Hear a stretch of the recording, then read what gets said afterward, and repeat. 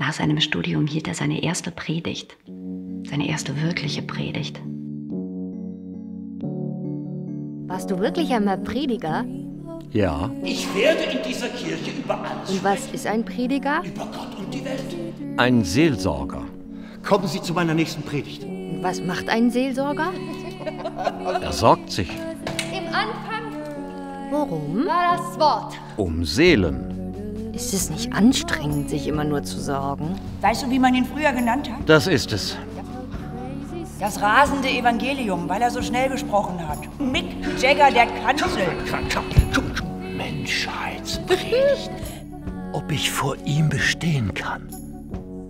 Ob ich vor ihm bestehen kann. Als ob irgendwas in diesem Haus einfach wäre. Mit jedem einzelnen Wort. Mit jedem einzelnen Gebet. Mit jeder einzelnen Tat. Es geht um die Ewigkeit. Er ist Prediger, er, er, er ist ein Pastor ohne Kanzel, er hat seit 17 Jahren nicht gepredigt. Gib ihm endlich jemand eine Kanzel.